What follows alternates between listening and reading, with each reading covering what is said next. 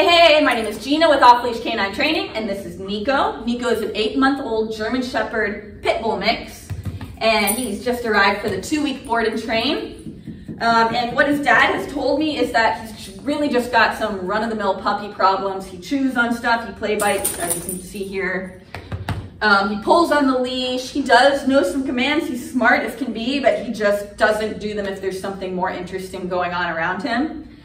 Um, so we're gonna work on distraction proofing with him.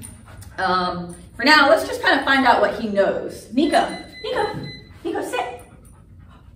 Oh, that's a good sit. That's so good. Down. Nikko, down. Oh. Nikko, please. Okay, how about Nikko? Let's heel.